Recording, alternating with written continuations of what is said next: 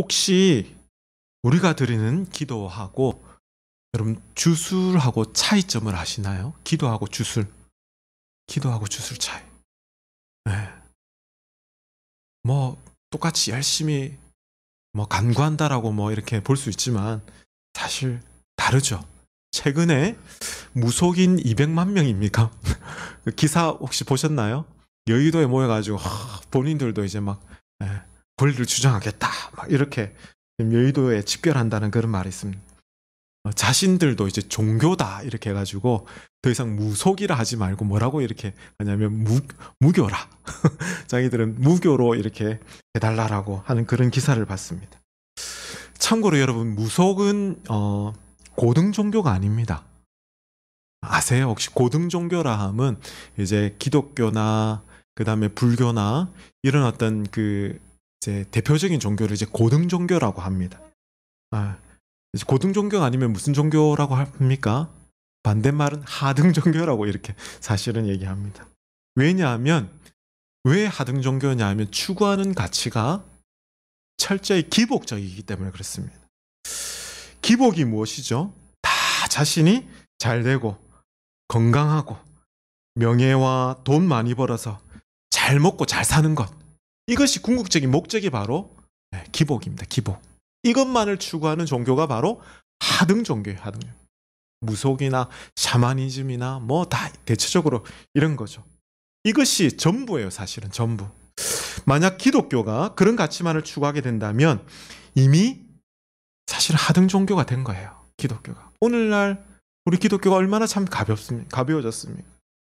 참고로 우리의 기도는요, 하나님의 뜻에 맞지 않으면 어떻게 됩니까? 결코 응답되지 않습니다. 네, 하나님은 거절, 거절하시죠. 네, 반면에 여러분, 주술. 네, 아까 기도와 뭡니까? 주술 이렇게 얘기했는데, 주술은요, 어떻게 되죠?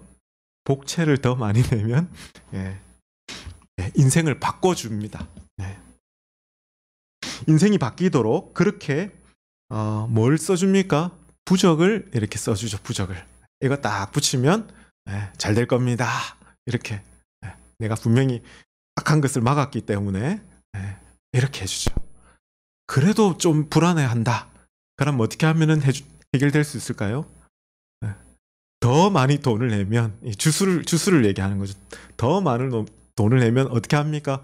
더 큰 부적을 예, 딱 멋지게 해가지고 이거 붙이면 이거 가지고 있으면 절대 예, 당신은 잘 될 겁니다. 이렇게 얘기해 줘요.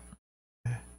한마디로 그들에게는 인생의 목적이 예, 그냥 잘 먹고 잘 사는 거예요. 잘 되는 겁니다. 돈 더 많이 내면 그냥 모든 게 해결됩니다.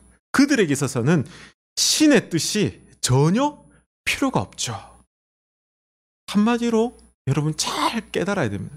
돈으로 그냥 자지우지 되는 것이 바로 이런 무속신앙의 핵심이에요, 사실은. 여러분, 비록 하나님의 저주, 진노의 잔, 십자가에서 죽는 한이 있어도 그 하나님의 뜻을, 아버지의 뜻을 이루, 이루어 드리도록 우리 주님은 그렇게 간절히 기도하셨잖아요. 네.